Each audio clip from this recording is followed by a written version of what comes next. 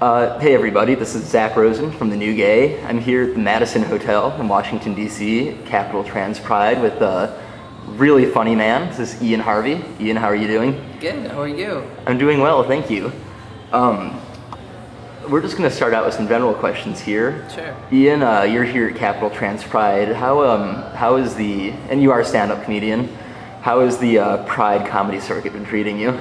Uh, it's been great, actually. Um, this has become sort of a summer tradition for me for the last um, many years. Um, I grew up and uh, spent many years in Portland, Maine, and I live in Los Angeles now. Um, my first Pride performance was in Portland, Maine, and then I moved to Los Angeles. And as I began to, you know, travel, um, I uh, started doing more and more sort of summer festivals, queer festivals. Um, and um, I, have I'm about to, after I leave here, I'm going to Nashville.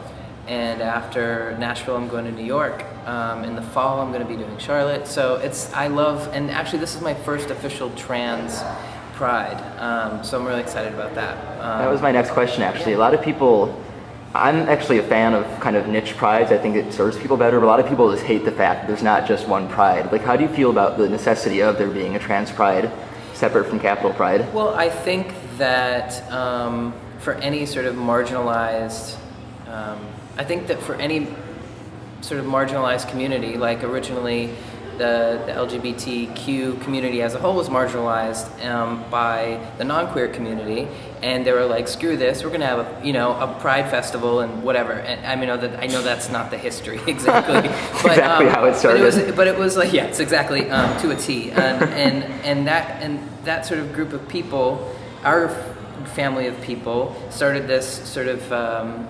annual thing, and um, and for political reasons and for uh, love and family and connection reasons.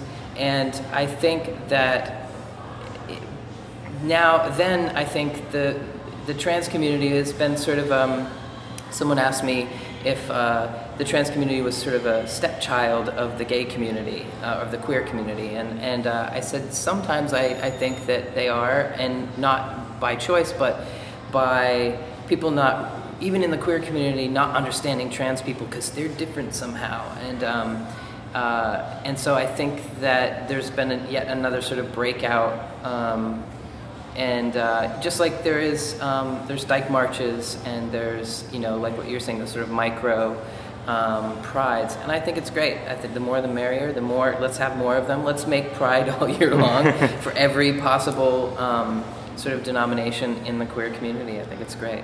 So cool. And your your stand up, which is hysterical, I was watching your stuff all morning today, is really trans focused. And I wonder if you do you think it's possible, well two part question, to divorce like being trans from the topic of your comedy?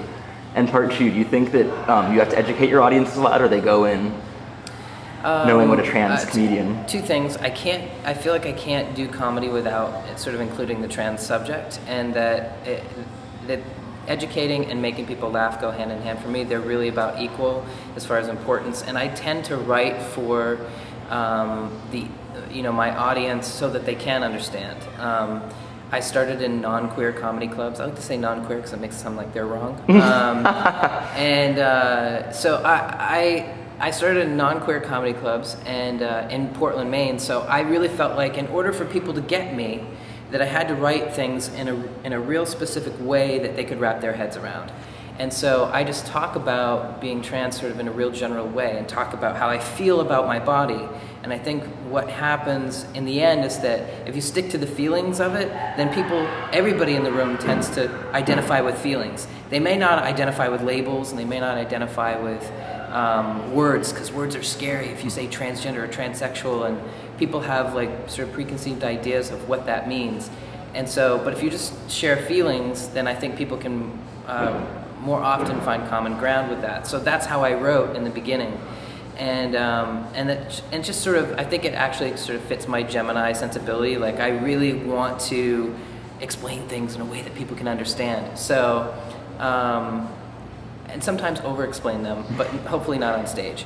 Um, so for me, I started that way, and it just sort of continued Um, and I continue to write that way, and that I'm finding that it's not just in non-queer communities that I'm educating; it's in queer communities too, and even in trans communities. That um, because I think that there's also sort of um, there's sort of a even still sort of a separation between F to M's and M to F's, and you know we may have core sharing feelings, but we don't really know what the other has gone through um, exactly, and so although we're brothers and sisters and um, family, I think that there's still even some education going on there too.